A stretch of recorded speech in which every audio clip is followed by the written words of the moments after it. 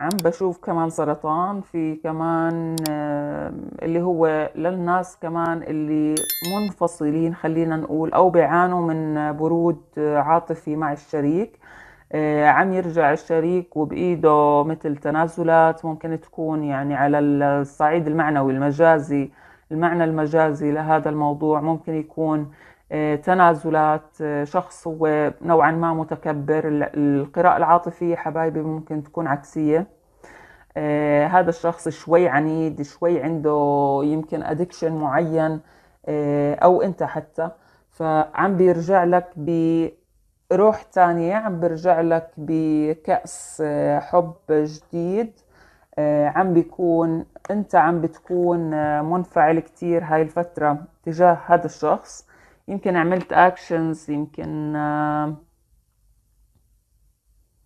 ولكن هذا التسرع مش منيح ابدا مش حلو ابدا ابدا في هاي العلاقة. عم بشوف إنه شوي شوي عم تتوضح الأمور وعم بتروق بيناتكم.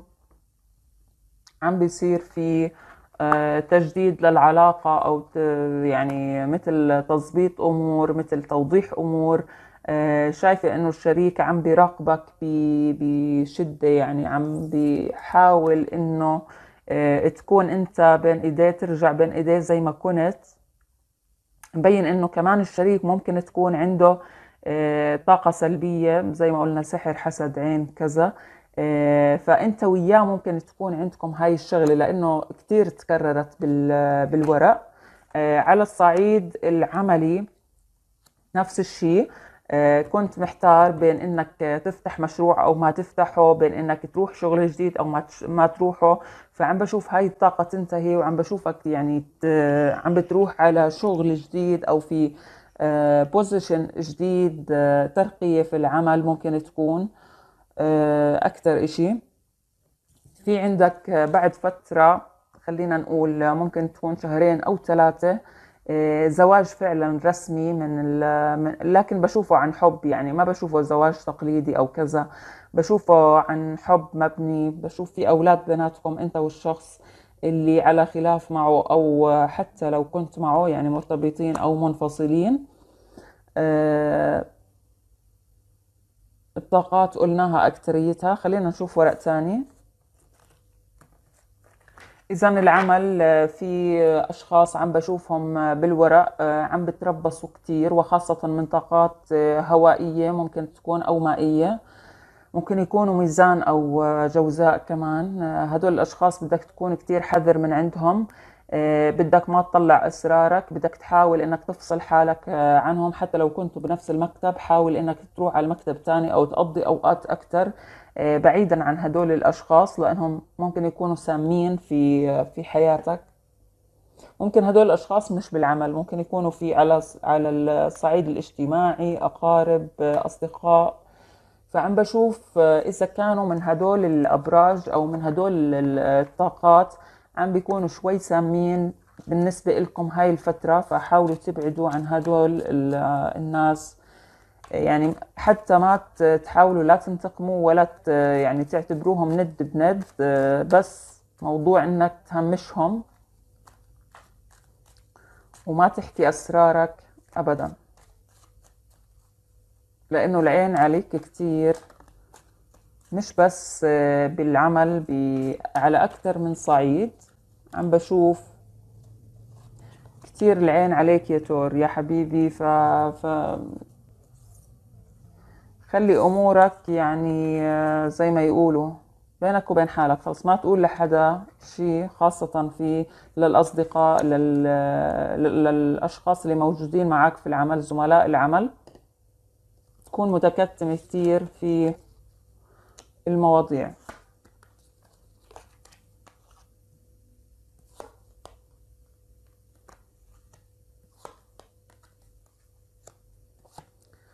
شايفة في أطراف في طرف ثلاثي ممكن يكون في العلاقة العاطفية. هذا ورق عاطفي طبعا. فيه كمان ممكن تبين أشياء تانية. مبين فيه سفر أو في في بعد في طاقة بعد عم بتحاول. إما إنه آه، سفر فعلا رح يكون في هاي الفترة. سفر سفر أكثر إشي بشوفه على عمل أو هجرة. آه، أو إنه بعد عن آه، الطرف الثاني عم بتكون في أول الفترة. أول الفترة قلنا في آه، شوية مشاكل في شوية صراعات حتى لو كانت بينك وبين حالك حول العلاقة العاطفية. في عنا اللي هو طرف ثالث أو هذا الكرت ممكن يعني كمان طاقات سلبية. ما بعرف ليش طلع لك يا برج الثور أشياء كثير يعني الكروت فيها طاقات سلبية. إن شاء الله تتخلص منها على خير ومبين في استشفاء آه، من هذا الموضوع. فنتفائل شوي. في عندك آه، شخص كان موجود آه، قريب خلينا نقول عنيد شوي مودي سبب لك شوية أذى نفسي. شوي كنت زعلان منه. هذا الشخص عم يرجع شوي شوي هيك يتسلل لحياتك عم براقبك وشوي شوي عم بدخل بيرجع يدخل لحياتك لأنه شايفة طاقة العند العند أو العناد عم تنتهي بيناتكم. شايفة طاقة الزعل أو الحزن عم تنتهي برضه. فعشان هيك يعني منيح اللي طلعوا مقلوبين هدول الكروت. وشايفة في بالنسبة للطرف الثالث في مشكلة كبيرة إجوا لأنه فوق بعض. آه، في مشكلة كبيرة جدا راح يصير بين الطرف الثالث والشريك. آه، لذلك كون مطمن إنه في نهاية اللي قلنا عنها قبل شوي نهاية لطرف آه، ثالث في العلاقة. عم بتكون كتير محتار إنك تعطي فرصة لهذا الشخص أو ما تعطيه. كل شوي عم بقول ممكن القراءة تكون عكسية حبايبي لأنه قراءة عاطفية وقراءة عامة. عم بتحاول تختار شيء من الاثنين. ممكن يكون إنه آه، توافق على الصلح أو ما توافق ولكن شايفيتكم أنا بالنهاية آه، عم بتكونوا مع بعض عم تكونوا مبسوطين بهاي العلاقة. اذا في هاي الفترة ممكن كتير إنه تروق الأمور بينك وبين آه، الشريك. وشايفة في شخص جديد. ممكن يكون من أبراج نارية أو هوائية أو مائية. آه، رح يدخل في حياة العزاب. وعم بشوف الموضوع بيتم على خير عم تبلش علاقة علاقة جدية عم تبلش علاقة يعني علاقة حلوة علاقة حب. طلع لك كرتين. آه، كروت العقل الباطن. أوه. زي ما قلنا العيون. حسد حسد كبير في عندك يا برج الثور فبدك تدير بالك. نفس الموضوع طلع لك إنه اللي قبل شوي إنه رح تكون جدا آه، محتار بين نارين بين قرارين ولكن رح تاخذ القرار على على خير. يعني رح تاخذ القرار المناسب. ما رح يكون في جمود هاي الفترة إنك ما رح تاخذ قرارات بالعكس. رح تاخذ هذا القرار ورح يكون لصالحك. بس اللي عم بشوف أكثر إشي إنه في آه، حسد خاصة آه، خلينا نقول على العلاقة العاطفية في عيون كثير عليكم في آه، بعض الشوائب بعض الأشخاص اللي عم بيوقفوا ممكن يكون الطرف الثالث اللي قلنا عليه ممكن يكونوا أكثر من من طرف. خلينا نشوف إذا في تحذيرات غير اللي قلناها. لبرج الثور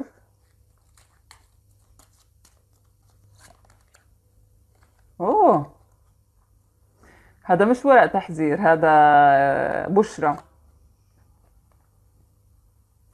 آه، في زواج في خطبة في ارتباط في رجوع في آه، في علاقة عاطفية عم تتبلور وعم تتطور. فيعني بس شوف لون الخاتم أزرق. يعني بقول لك آه، احترس شوي من العين.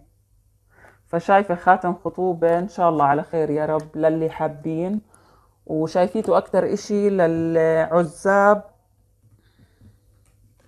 للعزاب لأنه قلنا في شخص جديد داخل حياتهم فممكن يكون هذا الموضوع. آه. شوف يا برج الدار. حبيبي بالعمل رح يكون فيه آه، شخص على سلطة معينة آه، رح يوصلوا كلام عنك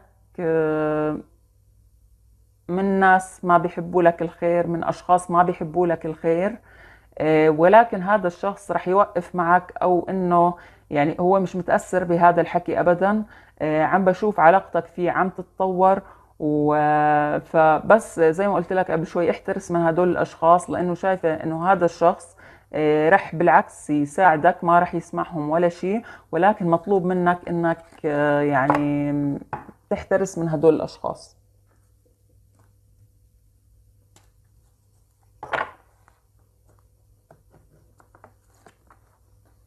آه. عندك مخاوف كتير حبيبي برج الثور عندك مخاوف كتيرة بلا معنى. يعني ما إلها أبدا أي داعي. فبقول لك بعد فترة رح تصير تضحك على مخاوفك. لأنه مخاوفك هي شغلة صغيرة كتير كتير ما بينخاف منها وإنت شيء كبير يعني.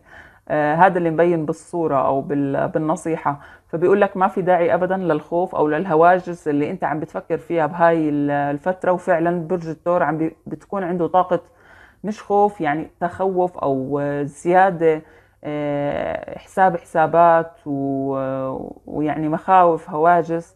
فبيقول لك لا ما في داعي لهذا الموضوع ابدا. حبايبي برج الثور